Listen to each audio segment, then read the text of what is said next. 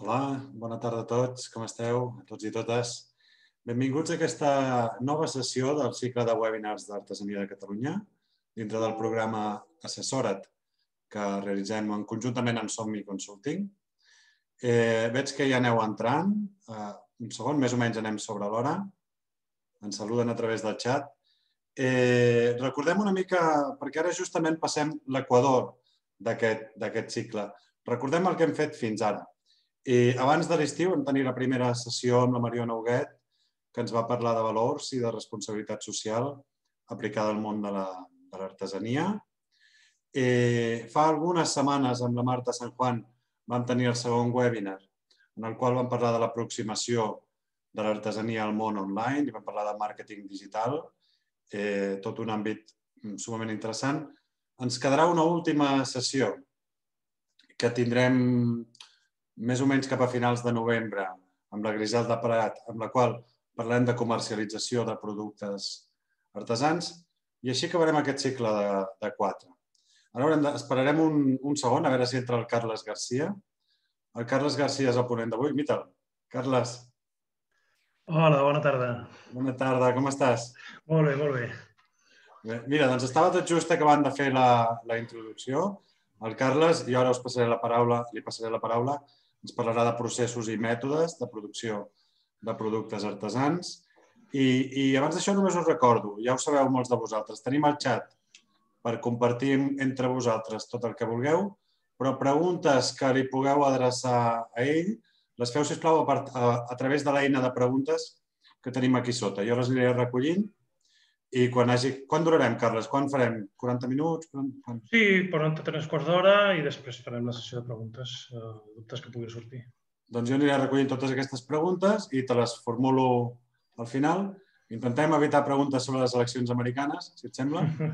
ja... bueno, serà complicat respondre això. Sí, sí, però portem un dia amb el tema que no vegis. Eh? Però bueno, i, i per part meva, res més. Uh, ja sabeu, això sí, que estem gravant la sessió i que, si no aquest vespre, doncs demà al matí la tindreu, la podreu trobar juntament amb el web del CECAM. I llavors, hi ha continguts que des de Somi Consulting poseu a l'abast del públic, oi, Carles? Sí, correcte. Sí, sí. Després, si de cas, ja faré un parell de mencions i en el xat trobareu, o jo us facilitarem l'enllaç perquè podeu accedir-hi i consultar els documents annexos. Doncs, per part meva ja està tot teu. Endavant. Molt bé. Doncs, si us sembla, bueno, aniré compartint la presentació que he preparat per aquesta tarda i així ho veiem tots. Molt bé.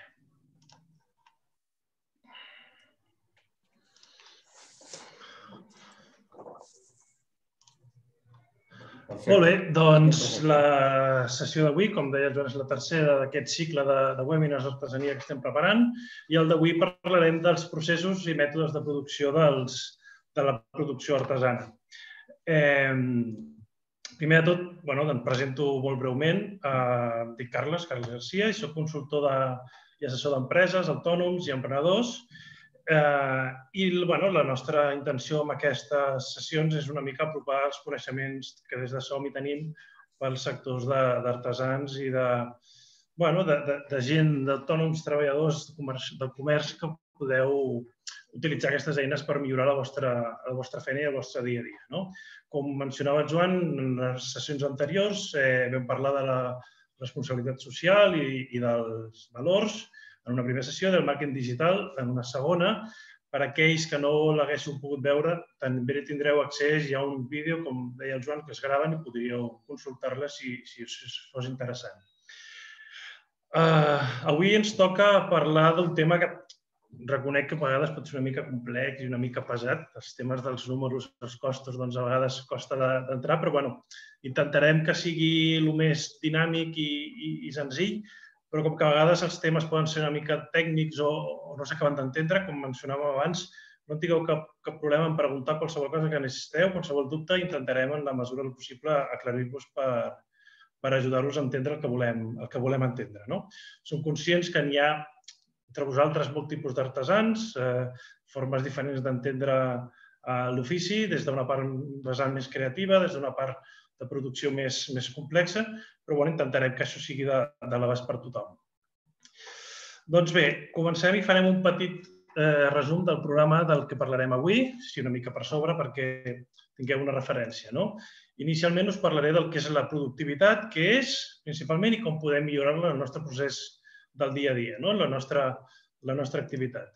Després parlarem una mica dels costos principals que podeu tenir en el vostre procés productiu i entendre quines diferències hi ha entre un tipus de despeses i les altres i quina utilitat li podem donar a aquesta anàlisi. Uh, aprendrem a fer el càlcul de l'escandall d'un producte, saber què és exactament i quina utilitat ens pot ajudar principalment per determinar el preu de venda juntament amb la resta de variables que poden afectar-nos. Després us parlaré d'un mètode, el mètode de les vuit fases, que us ajudarà a fer un procés de millora del vostre procés artesanal, del vostre procés creatiu i de producció. I, com mencionàvem, en els últims 15 minuts aproximadament els dedicarem a aclarir qualsevol mena de dubtes o preguntes que pugueu tenir. Els objectius que ens hem plantejat per aquest eh, webinar és que aprengueu principalment a valorar el vostre temps de treball, que li doneu el valor que realment té i que s'ajudi tot això a millorar la productivitat en el vostre procés. Que valoreu, que sapigueu valorar com feu control de les vostres despeses, dels costos productius que teniu i, per tant, poder optimitzar el vostre procés eh, artesanal que determineu quina és la quantitat realment de, recursos que necessiteu pel vostre procés productiu i que pugueu conèixer quins són els elements claus que us ajuden a determinar el preu de venda, que sempre és aquest gran dubte, no? Com, com puc vendre, si puc pujar preu, si estic fent molt car o estic fent massa econòmic. I l'últim és aquest procés eh, de, de millora constant que heu d'afegir al vostre procés creatiu de producció. Llavors, com mencionàvem, el primer de tot serà la productivitat. Eh, tothom ha sentit a parlar de la productivitat alguna vegada, però no sé si sabríeu definir-la. No? És un concepte que se'n parla molt. Llavors, bueno, dit d'una manera així molt, molt acadèmica, la productivitat és la relació que hi ha entre la quantitat de productes que obtingueu en el vostre procés productiu artesà i tots els recursos que heu utilitzat per obtenir aquesta producció. Dit d'una altra manera, eh, és la relació que hi hagi entre el que heu tingut i el temps que heu dedicat per obtenir-los. Per tant, quan menys temps hi dediqueu per obtenir el mateix resultat, més productiu està sent el vostre sistema eh, artesà. Vale? Llavors, entenem així la productivitat com l'indicador de l'eficiència que relaciona la quantitat de recursos que utilitzeu amb la quantitat de producció que obtingueu. Vale? Llavors, per què és tan important la productivitat? Per què se'n parla tant? Doncs perquè la productivitat té una relació directa amb la gestió de la qualitat, la qualitat dels nostres processos, no només del producte, sinó de la forma amb la que aconseguim crear aquest producte. Gràcies a aquest sistema de qualitat es poden prevenir doncs, defectes del producte i així millorar els estàndards de qualitat del nostre procés artesà sense que arribin a l'usuari final, al consumidor que ens compra el nostre producte. La productivitat, per tant, va en relació amb aquests estàndards de producció. Si millorem aquests estàndards, aquesta base genèrica amb la qual treballem, els nostres processos, aconseguirem un estalvi de recursos que es reflectiran en un augment de la utilitat del procés i al final de tot, que és el que tot volem, doncs, de les nostres guanys i del nostre benefici. Llavors, quins factors influeixen en la productivitat de la nostra, del nostre procés? Són quatre grups principals. Per una part, el disseny i la producció artesanal, per una altra banda, l'organització que tinguem de la nostra feina, després els treballadors o l'equip de treball que puguem tenir i, per una altra banda, les condicions eh, externes. Quan parlem de disseny o de producció artesanal, ens referim principalment al propi disseny que puguin tenir els productes, de manera que si està molt ben dissenyat i, per tant, sigui fàcil produir-ho, això ens ajudarà a tenir una millor productivitat. L'estabilitat dels dissenys ens ajudarà en el sentit que quan més estable sigui, menys canvis n'hi hagin, és més fàcil aprendre a millorar els processos i, per tant, optimitzar el procés productiu. Si els dissenys van canviar molt, si, si anem instaurant noves formes de treball i n'hi ha molt canvi, això ens, ens dificulta establir uns protocols continus de productius. El tercer element en, en quant a producció és la qualitat de les matèries primeres i també la qualitat i el manteniment de la maquinària. Com més més ben producte treballem, com millors equips i eines tinguem, més senzill i més òptim serà el procés productiu. Referent a l'organització de la feina, eh, els elements que, que, que afecten a la productivitat principalment són la disposició i utilització de l'espai que tinguem.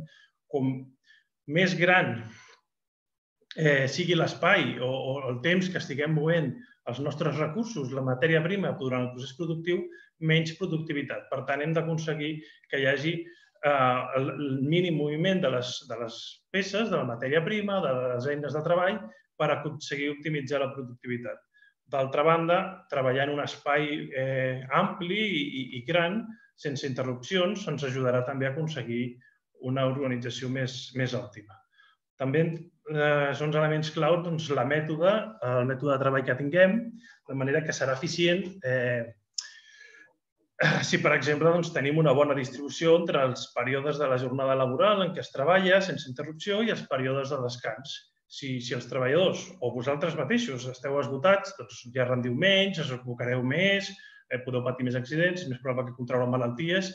bueno, tots sabem que els autònoms no ens podem permetre posar-nos malalts, per tant, el tema d'organitzar bé els temps ens ajudarà. No?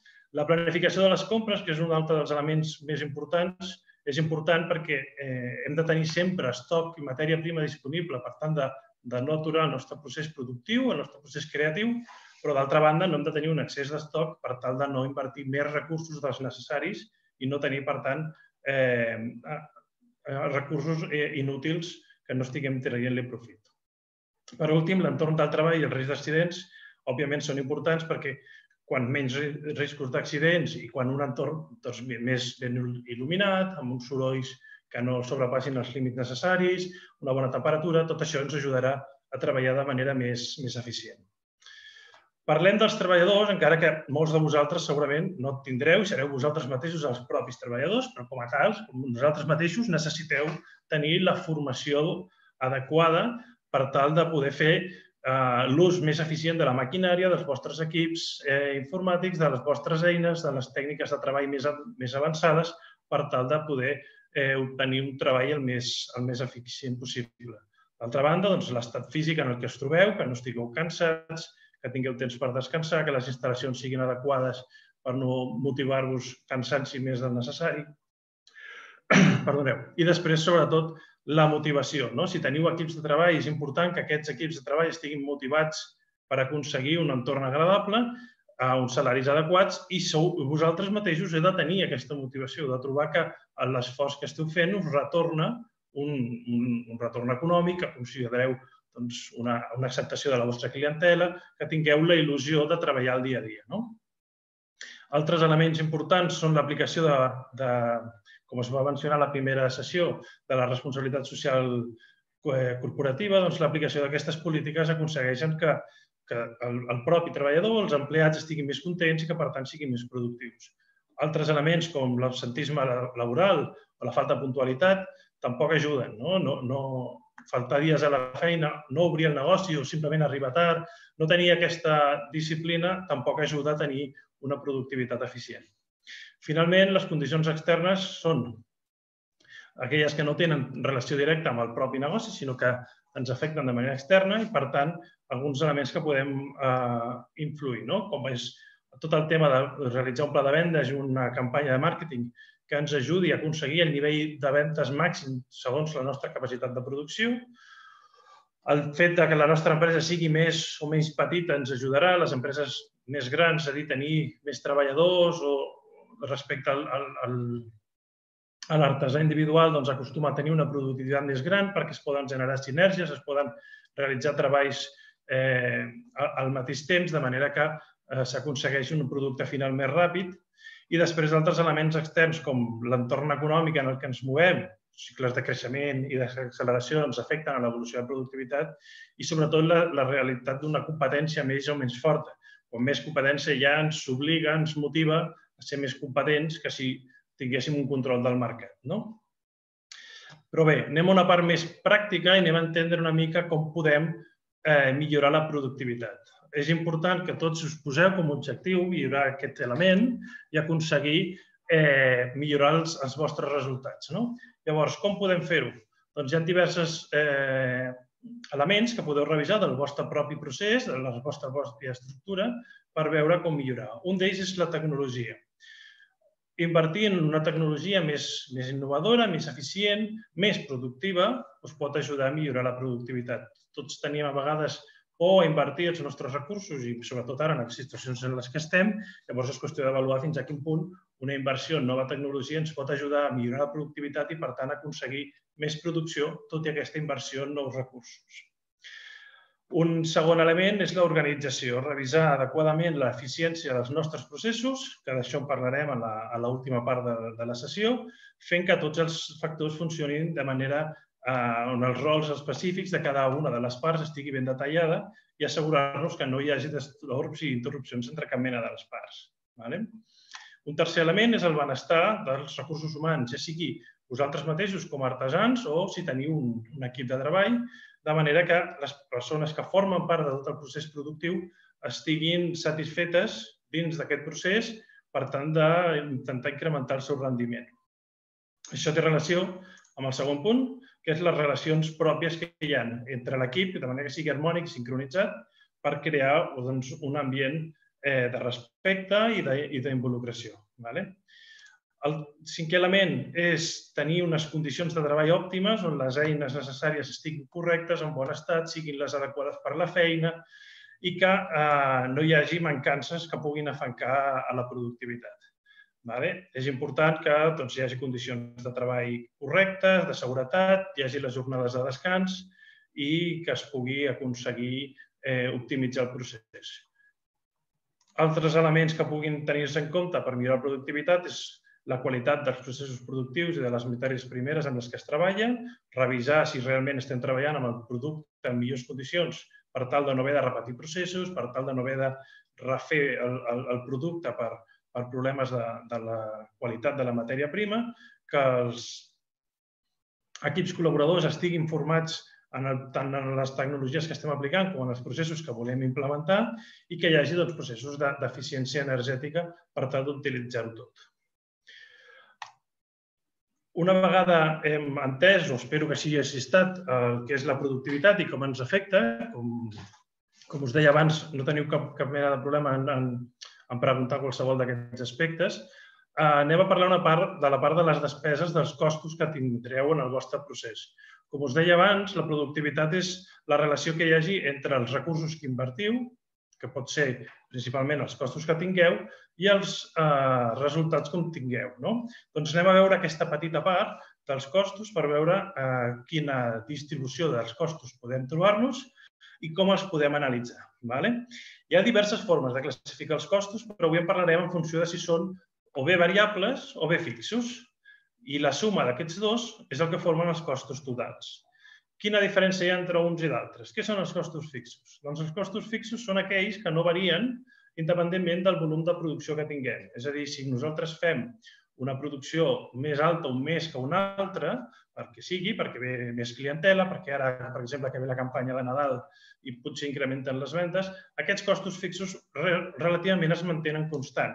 Independentment del volum que tingueu, pagareu el mateix lloguer pel vostre local, si teniu gent contractada pagareu el mateix salari, la gestoria més o menys us cobrarà el mateix, és a dir, teniu una estructura fixa.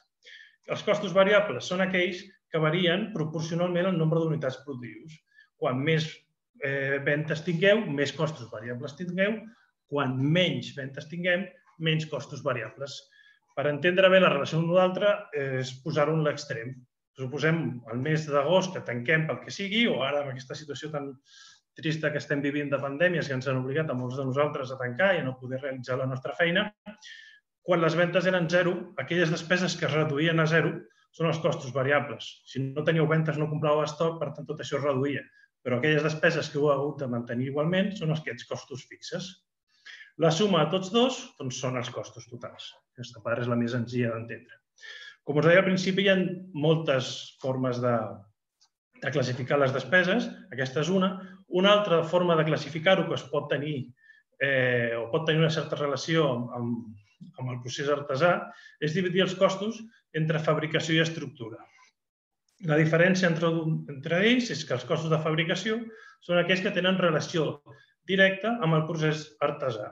És a dir, el cost de les matèries primes, la mà d'obra directa que hagi treballat en el procés productiu i els costos indirectes que tinguin relació. Per exemple, del cost del lloguer, la part proporcional al taller on realitzeu les vostres feines. Però la part on destineu a la venda, aquesta part del lloguer no, no estaria inclosa. la part dels subministres de producció elèctric que necessiteu per fer la vostra maquinària, sí.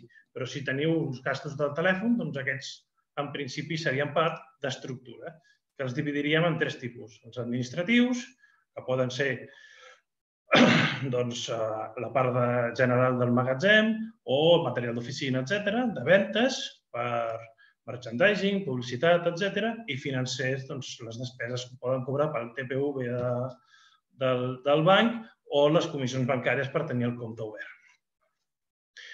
Una vegada més o menys hem parlat d'aquesta distribució dels costos, vale? eh, per, que a vegades jo sé que aquest tema és una mica eh, lent d'assimilar tants conceptes i paraules, us he posat un petit exemple eh, amb uns números perquè una mica pugueu entendre el que és cada cosa.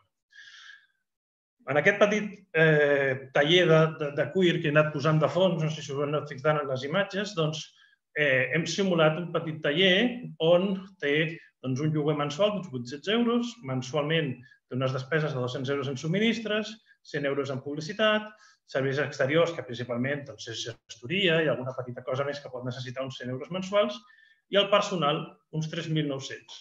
Quan parlo de personal, i això és una cosa que crec que és important, tingueu o no tingueu personal, és que considereu el vostre propi salari també com una despesa fixa.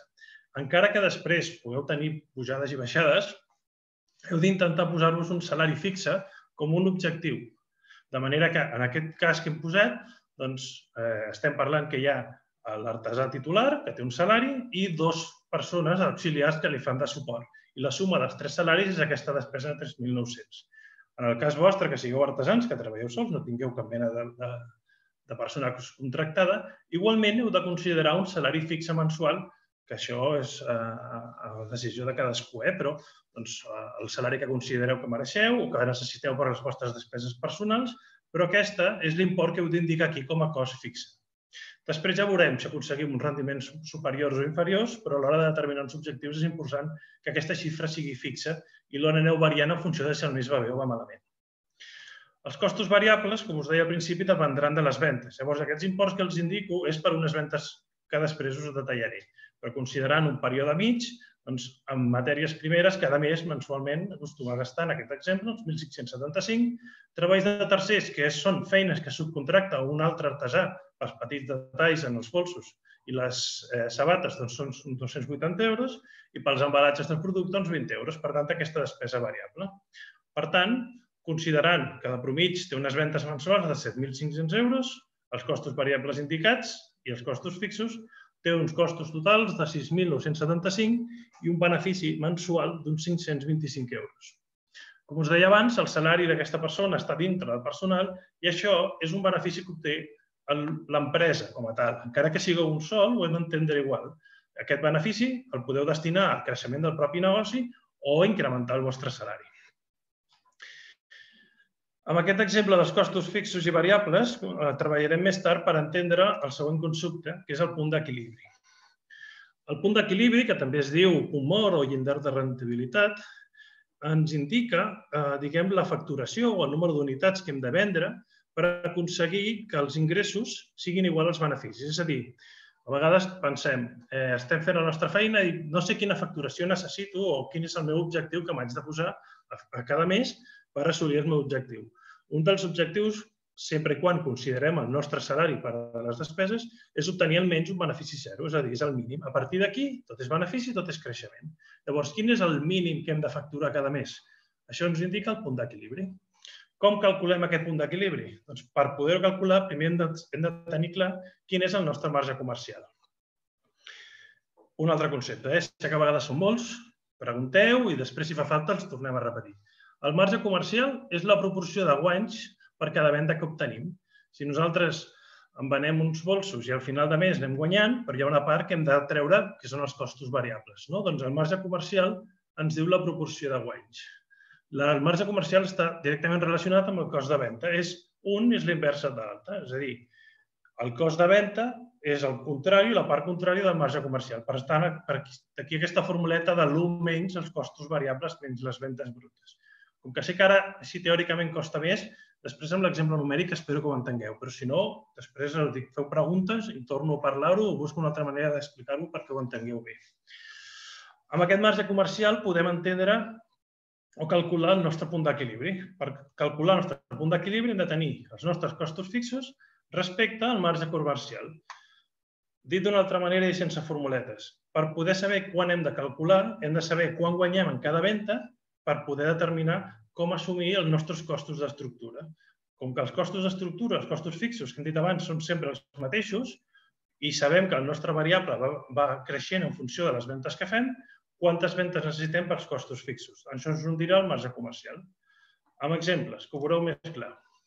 Recordem, marge comercial i punt d'equilibri. Doncs, considerant que en l'exemple anterior els costos variables eren 1.875 i les ventes brutes eren 7.500 euros, el marge comercial surt d'aquesta formuleta, és un 0,75, que convertit en, marge, en percentatge és un 75%.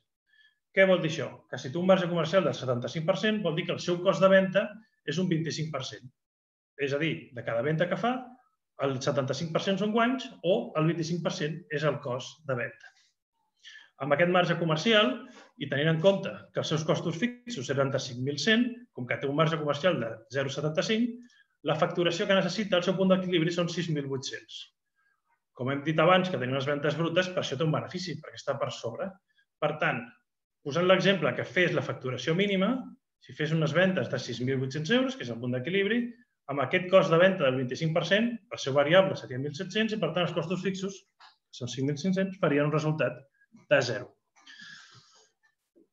Aquest, aquest concepte ens pot ajudar una mica a veure quins són els objectius mínims de venda que ens hem de posar. Per tant, com podem millorar? Si nosaltres veiem que el nostre volum de vendes és molt alt i no arribem a aquestes xifres, la manera d'aconseguir-ho per aquesta fórmula és o reduir els costos fixos o millorar el nostre marge comercial. O aconseguim més rentabilitat, que ja hem parlat primer, o reduïm els costos. Com reduïm els costos? Doncs és el que mirarem a partir d'ara.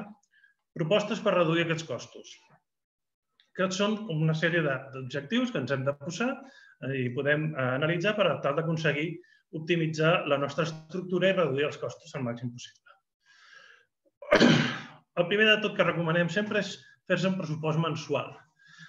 I dic lo de no sobrepassar-ho perquè és molt fàcil, posar un pressupost i després gastar-s'ho tot i, i no fer-ne cas. Hem d'intentar, en la mesura del possible, respectar aquest pressupost i, si hem determinat unes determinades despeses, no sobrepassar-ho i anar ajustant el nostre dia a dia. Entenc que a vegades és complicat, però eh, anem a intentar eh, aplicar a la mesura possible tots aquests punts el que puguem. Una de les altres eines que proposem per reduir costos és implicar, si tenim personal que formi part de l'equip, a la reducció de, dels costos. Una bona formació els pot ajudar i motivar-los a que també formen part d'aquest procés.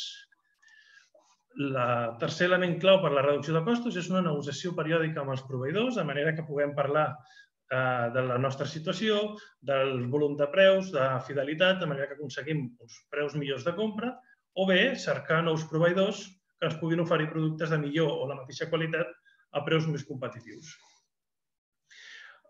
Determinar una sèrie d'objectius per a les diverses àrees del procés productiu i premiar l'èxit en aquelles on s'aconsegueixi també és una de les funcions òptimes. No veure els costos com un total, sinó àrea per àrea i treballar en aquests aspectes on es pugui millorar.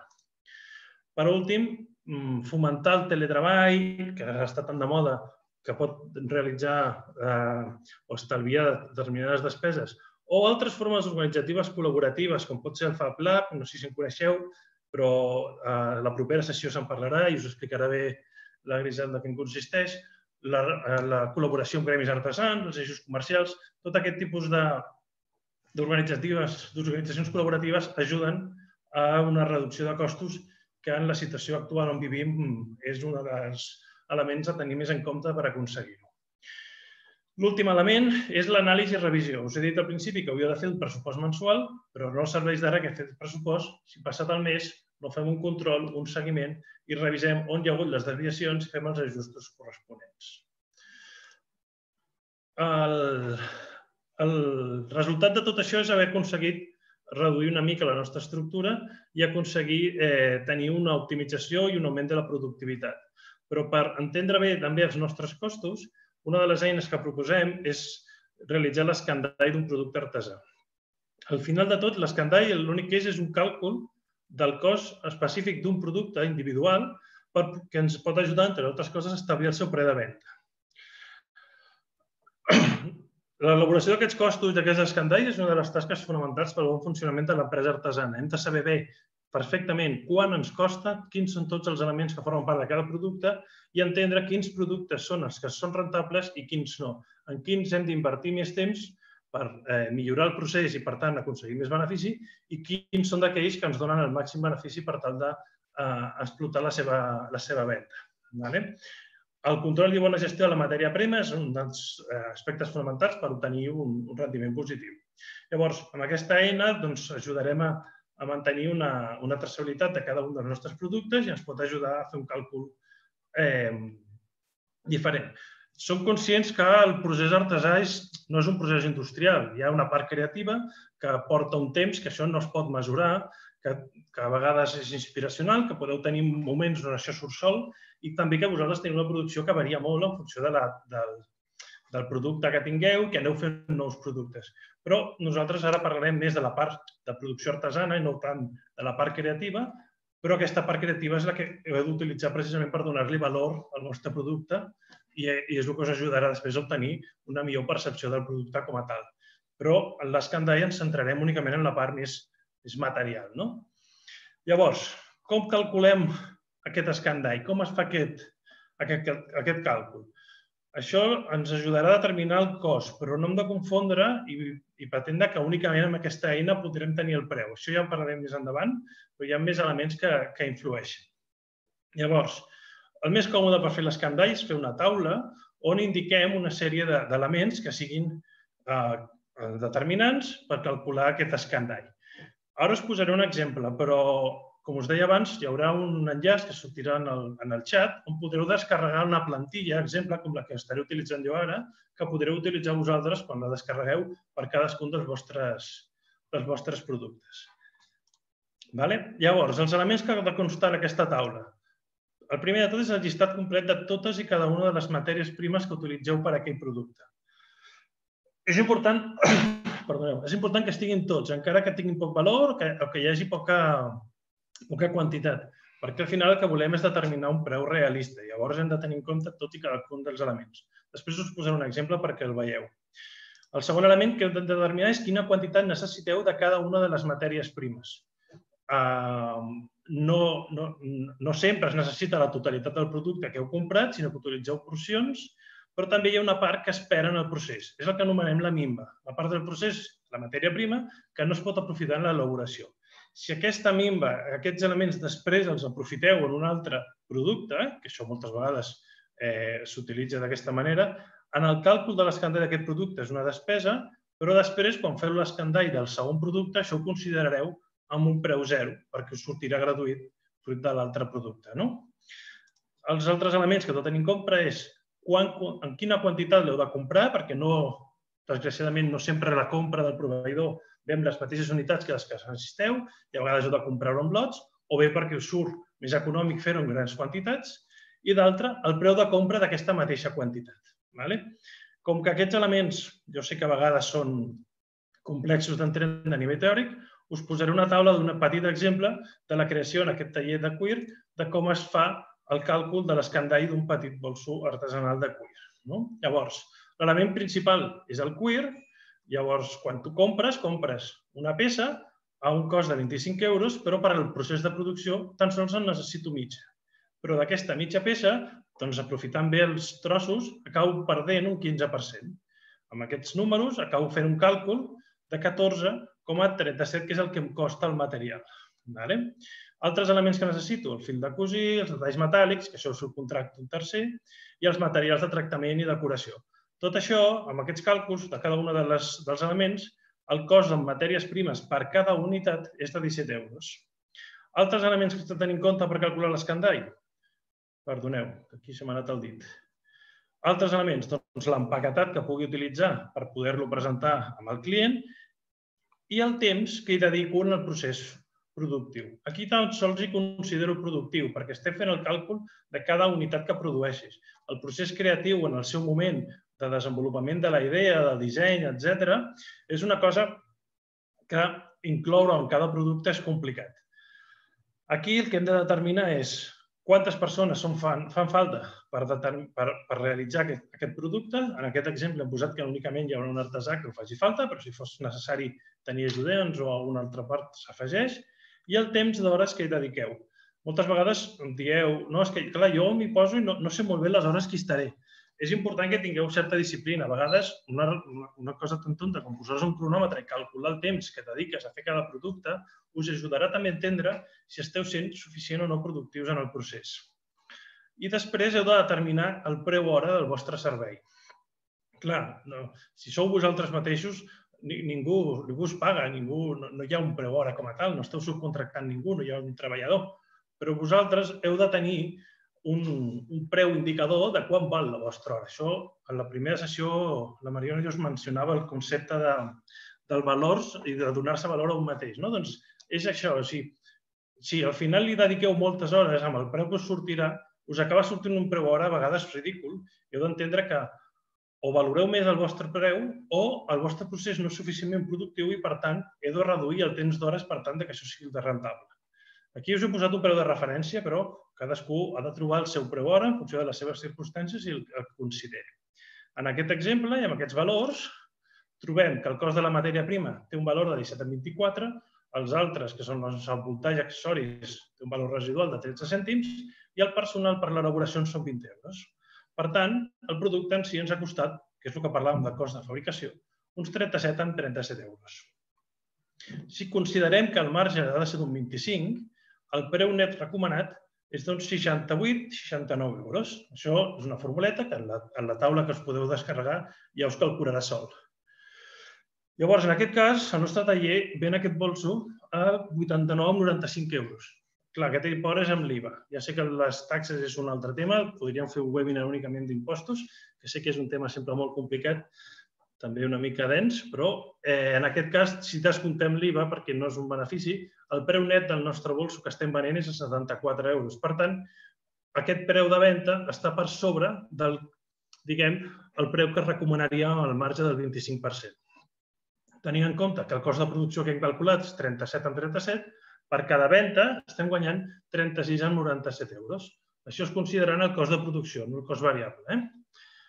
Aquest benefici ens dona que aquest exemple doncs, és un producte que és rentable. Moltes vegades, quan feu aquest càlcul, us trobareu que aplicant el marge que espereu tenir, que el preu de venda que teniu està per sota, que el preu net acaba estant per sota del preu recomanat. Això vol dir que o, o esteu venent el preu per sota del, del, del valor que seria raonable, o bé que el vostre procés, que el vostre cost és molt elevat, ja sigui per cost de les matèries primes o per l'eficiència del vostre procés eh, artesanal. Vale? I és el que heu de revisar. Com, com parlem d'aquest preu de venda, eh, doncs ara us explicaré alguns dels elements que heu de tenir en compte i que us poden ajudar a determinar el preu de venda. Com us he dit abans, eh, no només heu de tenir en compte el cost de producció, no només heu de tenir en compte aquest escandall, però és una, una eina que crec que us serà, us serà útil. Però com que hi ha d'altres variables a tenir en compte, ara us les menciono perquè ho valoreu tot tot plegat. Llavors, com determinem? Primer de tot, com hem dit, el cost de producció i el percentatge de cost que ens impliqui la matèria prima. És un dels primers elements. Sobretot no vendre per sota de cost. Eh, si no tenim clar ni quan ens costa el nostre propi producte, doncs potser ens costa determinar el preu de venda. Una vegada hem determinat el cost de producció i el percentatge del cost respecte a la matèria prima i els beneficis que acostumem a estar, que pot ser això entre el cost de venda de centre un 25 i un 50%, podem determinar una referència, però que l'hem de tenir altres coses en compte, com per exemple la temporalitat de les matèries primes, ja que eh, hi ha matèries primes que són eh, únicament de temporada o que tenen una durabilitat reduïda per les seves condicions i això pot alterar el preu final. Uh, altres elements que, podeu, que heu de tenir en compte són la competència, principalment el que parlem aquí de competidors directes i substitutius. La competència sempre es té en compte com aquell que ven el mateix que nosaltres, ja sigui a un preu més alt o una qualitat més alta o al contrari, no? un preu més baix o una qualitat més baixa. Aquests són els competidors directes. En el nostre cas estem parlant de bolsos de cuir, doncs qualsevol que vengui bolsos de cuir, ja siguin més o menys bons, doncs serien competidors directes. Però els substitutius són aquells que ofereixen productes que, tot i no ser els mateixos, podrien substituir el nostre producte. Hi ha gent que potser el bolso de cuir no el vol, però compra un, un bolso però que sigui de, de tèxtil, o potser vol una motxilla i ja li serveix, o potser troba d'altres formes de transport de les seves coses i com que els bolsos de cuir li semblen o massa cars o no sou prou bons, etc etc ens substitueixi. Hem de tenir una visió més àmplia de la nostra competència i no pensar que el nostre producte és únic, perquè sempre n'hi ha algun producte que pugui substituir el nostre i això ho hem de tenir en compte a l'hora de determinar el preu. Altres elements importants a tenir en compte és la relació qualitat-preu que tingui el, el, el, consumidor. El nostre producte, si té una percepció bona de la seva qualitat, i amb això, per exemple, les campanyes de màrqueting, que us ho explicar a la segona sessió, pot ajudar, eh, implicarà que estiguin disposats els clients a pagar un preu més alt. Si la percepció, per contra, és, és, és baixa, el preu que estaran disposats sempre serà més, més reduït. Per últim, el perfil de la nostra clientela. Una clientela acostumada a uns preus més elevats estarà disposada a pagar més, clientela amb uns recursos econòmics ajustats per tant, no podran assumir uns preus molt elevats i ens haurem d'ajustar al tipus de clientela que tinguem. Són molts elements a tenir en compte, però entre tots això hem de determinar quin és el preu de venda òptim per al nostre, per al nostre producte artesà. Vale. Per últim de tot, us parlaré de la millora de processos. Uh, hi ha molta forma de, de, de, de treballs que no són del tot eficients i és difícil a vegades doncs, com millorar els nostres processos per tal d'optimitzar la nostra productivitat, que és el primer que hem parlat. No? Llavors, jo aquí us explicaré d'un mètode que es va, es va implementar en el seu moment pel famós Henry Ford. És un mètode que s'utilitza des de fa molts anys i que ara està tornant a ser de moda i està tornant a implementar i potser té una aplicació per pimes i per empreses que tinguin potser un, una estructura més gran que l'artesà individual que fa la seva feina.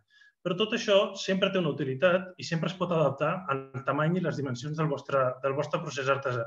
En la mesura del possible, i us recomano que us ho mireu i que intenteu implementar aquest procés per veure com podeu millorar, perquè és important que en la mesura del possible sempre eh, fem la feina el millor possible. Com que és un tema molt més complex del que us intentaré explicar ara, però per qüestió de temps no tenim temps, també us hem posat a, a la pàgina web el mateix enllaç que estava anteriorment i si ens el poden afegir de nou al xat, eh, molt millor. Eh, tindreu aquest mateix mètode, cada una de les fases que us explicaré ara una mica per sobre, les tindreu amb més detall i amb, i amb unes petites especificacions que espero que us puguin, que us puguin ajudar. bueno, el, el mètode el que intenta és millorar els processos de producció que tinguem. Llavors, com, com el seu propi nom diu, té vuit fases. La primera fase consisteix en formar l'equip de treball, en determinar qui seran les persones que s'encarregaran de fer aquest procés i de eh, realitzar el, les diverses etapes per tal de, de fer l'anàlisi i la resolució dels problemes. Es recomana que siguin equips, doncs ja dic, fins a quatre persones, però clar, en molts dels casos doncs, sereu vosaltres. En la mesura del possible, intenteu aconseguir que hi hagi un segon punt de vista, algú que us pugui aportar una visió diferent i que pugui entendre algunes parts del procés que no, que no siguieu vosaltres mateixos. Uh, sempre és buscar la gent el que estigui en millor capacitat, però eh, el criteri principal que heu de tenir en compte és la funcionalitat, no tant doncs, si són reconeguts en el sector o si tenen eh, certa influència. Eh? Sobretot que siguin persones que coneguin bé els seus, els seus processos. Molt bé, una vegada determinat qui seran les persones que formaran l'equip de treball, hem de definir quin és el problema que volem solucionar, perquè a vegades eh, veiem que les coses no rutllen, que no van bé, que no rebem a fi de mes, que la facturació no ens arriba, però no sabem molt bé per què. Llavors, primer de tot hem de definir quin és el problema. Llavors hem de saber què és el, que, el problema que tenim i què és el que volem, que volem resoldre. Vale? Hi ha, pot haver molts problemes i pot ser que precisament el problema que tinguem és que no sabem què ens està passant. La qüestió és determinar una llista de, de, de problemes que veiem en el nostre procés productiu i eh, intentar que durant aquesta, aquest mètode trobem solució. Llavors, la fase 3 el que farem serà la implementació de solucions de contenció. Això és una fase que és, diguem, opcional en el cas de que es pugui fer. Aquestes solucions són aquelles que s'apliquen per tal de, mentre estem en aquest procés de millora, intentar atenuar, reduir els efectes al mínim possible i aconseguir que eh, les futures decisions que puguem prendre eh, funcionin amb, amb millor resolució. Clar, hi ha vegades que això doncs, és difícil, no? però un dels exemples que hi ha. No? Eh, ens trobem en una situació on no estem arribant de fi de mes, doncs en aquesta fase 3 la primera solució és limitem qualsevol mena de pagament al mínim imprescindible. Després, quan haguem trobat on està el problema, ja anirem refent les solucions, però anem a evitar que surti tresoreria del, del nostre banc perquè no estem arribant als pagaments i hem d'intentar no gastar més del necessari. Reduïm compres, etc etc. Vale? Llavors, implementarem a la següent fase la fase de mesura i anàlisi per trobar, sobretot, quines són les causes arreu dels problemes que tenim. En, aquests, en aquesta fase és on s'intenta determinar no és quin és el problema que tenim, sinó què ens està causant aquest problema.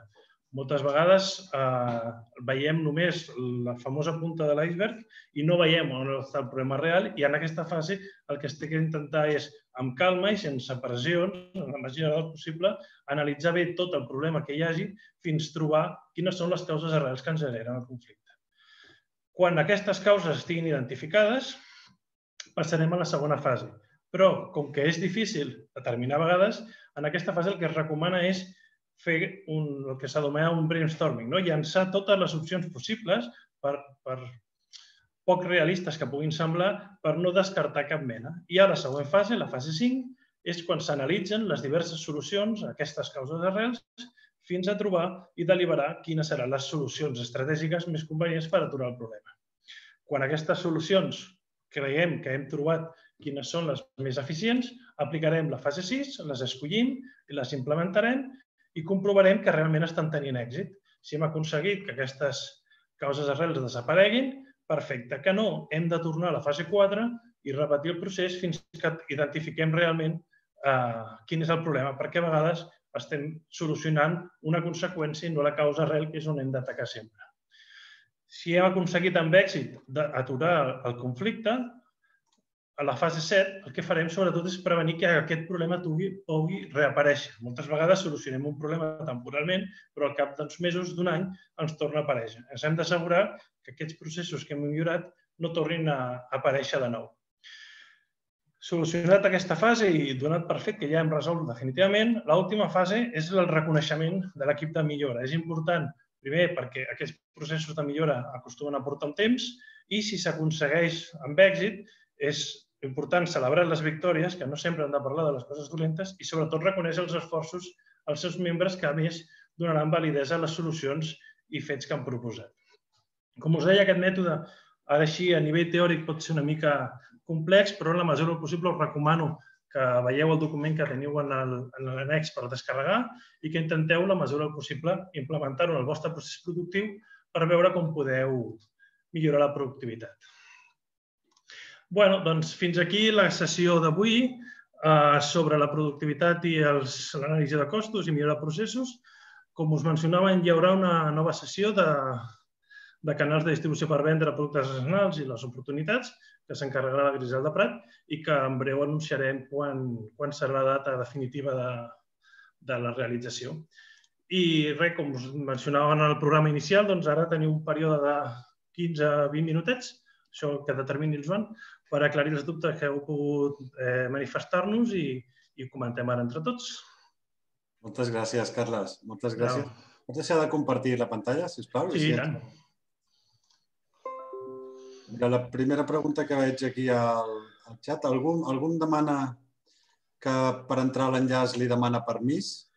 bueno, si això els nostres companys d'artesania ho poden mirar i sou tan amables de contestar pel xat mateix, el Carles i jo farem, farem tot el Escolta'm, eh, eh, superinteressant el que ens has explicat. A més, ho has explicat d'una manera molt, molt, molt compartimentalitzada, molt, molt analítica i, per tant, jo ho he entès clarament. Eh, M'ha vingut al cap un pensament i és, i és que tots el dia a dia ens porta, ens arrossega i de vegades el desenvolupar les eines que ens ajudarien a ser més eficients no trobem el temps ni per desenvolupar-les. Per això trobo genial que compartiu aquests continguts, eh, aquestes taules, aquestes graelles. Et volia preguntar, si haguéssim de, de resumir, Carles, um, aquells KPIs o aquells, um, aquelles informacions que són de capçalera, que no, que no podem estalviar-nos, quina seria? Un escandall de costos? Correcte, sí, sí. sí. Pressupost, escandall de costos de cada producte. Correcte. Eh, I si canvio el producte perquè faig peces noves i tal, cada peça nova ha de tenir, o les puc agrupar, segons com, tot depèn. Sí, sí, l'escandall del producte és, sobretot, si són productes que eh, es venen d'una manera recurrent, és, és important tenir clar, clar el cost que tindrà. Però clar, hi ha productes, efectivament, sobretot en el sector artesanal, que es van variant molt. Llavors, almenys, fer el càlcul sobre la base de treball. De manera que cada vegada fem una petita variació, únicament hem d'afegir aquesta petita variació per determinar quin és el preu recomanat de venda nou que podem afegir-ne. Clar, aquí hem de tenir en compte no només el cost dels materials, sinó quin temps nou hem dedicat. Us mencionava en la presentació, i no he volgut afegir-ne molt de temps, però crec que ara potser és el moment, és el tema del, del temps creatiu, no? que, que aquí no ho heu tingut en compte, però si, si dediqueu un temps creatiu a, a realitzar un nou producte, aquest temps que hi dediqueu, després produïu tantes unitats com per recompensar aquest temps que heu invertit. Llavors, també és un dels elements que heu de tenir en compte a l'hora de determinar el preu de venda per veure quanta necessitat de preu s'ha d'incorporar en funció del temps que he dedicat a crear-ho. No? Clar. Altres elements que mencionaves, si fer un pressupost i tenir un control, eh, és molt important la disciplina en els costos per saber, sobretot, en temps què ha passat, no? perquè moltes vegades gastem i no ens donem compte. I els, els calés van sortint del banc i, i arriba un moment que volem, volem agafar mai, no ens arriba per fer la compra de, de les noves matèries primes i no sabem on s'han anat els calés. I això és important fer pressupost i a final de mes eh, confirmar que realment el pressupost s'ha seguit i si no s'ha seguit, veure per què. Per tant, dedicar un temps, això sí, dedicar un temps a tenir controlades aquestes eines de gestió i a recollir la informació que necessitem. Correcte. Perquè, si no, al final perdrem diners i no sabrem ni com, no? No sabem ni per on. Eh, aquest és el problema, moltes vegades és el que passa, eh? que, que fem les coses i dic, és que a mi no, el, el negoci no m'és rentable, però no sé molt bé per què. I és important sempre el saber el per què de les coses. Un, un tema que s'ha comentat en el xat quan posaves l'exemple, parlaves del, relacionat amb la, amb la fixació del preu, eh? parlaves del 25% de marge. Sí. Bueno, això es pot ajustar, òbviament, a cada cas. Sí, cada... correcte, correcte. Era un exemple, era un exemple, jo sé que cada sector té marges molt diferents, l'hostaleria té uns sectors, els artesans comerciants, és que varia molt, i després hi ha productes, com us mencionava en el preu, hi ha productes que tenen un valor perquè el, el, el client el percep molt bé i, i el marge s'incrementa molt. I hi ha d'altres que el marge és un 25 i és molt just.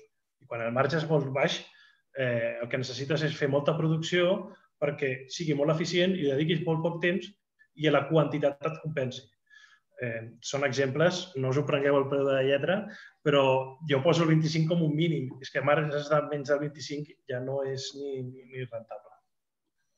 En tot cas, creus que seria recomanable, si jo no tinc molt clar, més enllà dels costos, eh? suposant que tinc, sí. molt, tinc clars els costos, però el que no tinc clar és uh, com respondrà el, el client, no? com respondrà el consumidor a una puja de preus.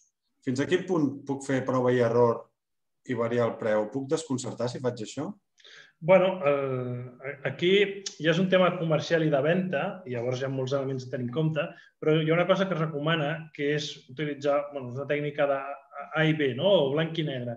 Es poden provar com dues línies, fer dos productes i en un fer una alteració del, del, del consumidor amb el preu i veure la reacció que està tenint.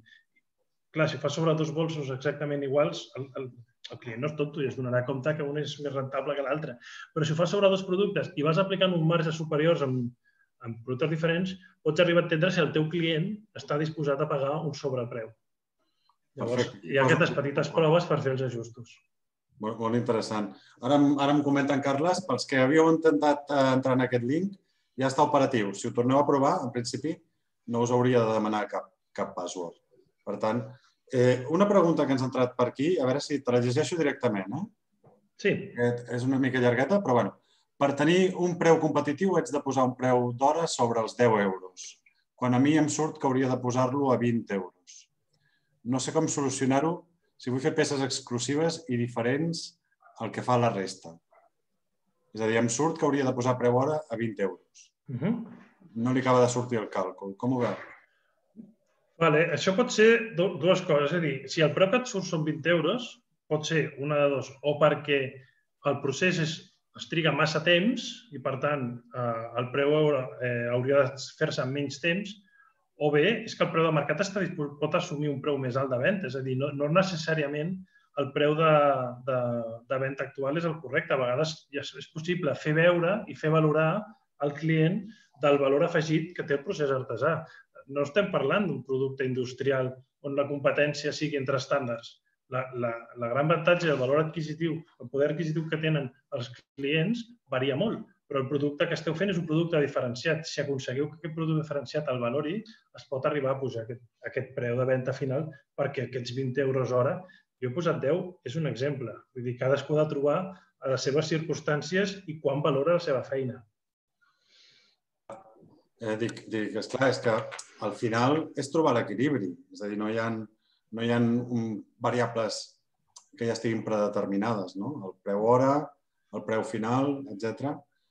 Eh, jo m'he apuntat aquí un parell de coses perquè m'ha agradat molt ja quan has començat a donar números eh, i l'estructura de costos. No?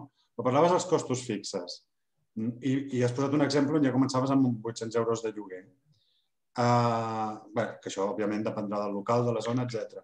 Però, però hi ha algun percentatge de, de taxa d'estrès que diguis més, més enllà d'aquest percentatge no paguis el lloguer o, o això ja és insensat? Bueno, lo de no pagar el lloguer, aquí estem parlant d'un tema, un tema legal. No volia dir això, això... no volia dir això, ja m'entens. Sí.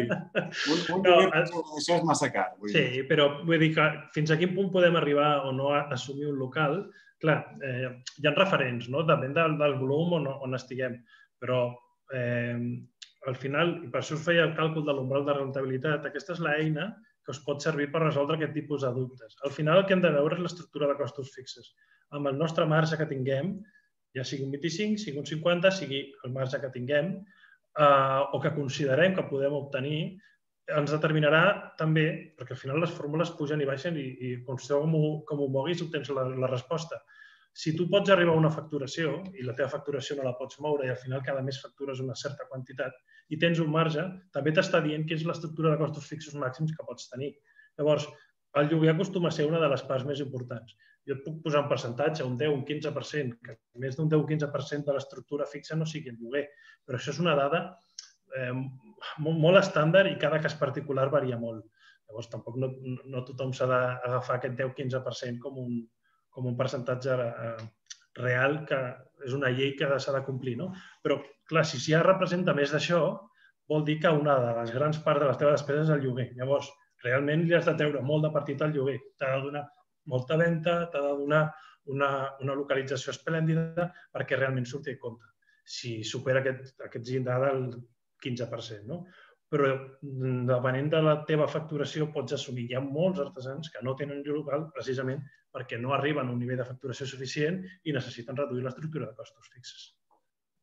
D'aquí la importància del, de l'online en el cas de molts artesans. Totalment, totalment. Que els està funcionant, que els està funcionant bé com a canal, no?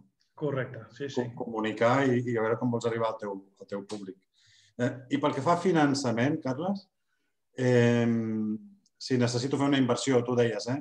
I, i, i ho has comentat, justament ara és un moment que, que ens ho pensem molt, no? Però mm, necessito finançament extern.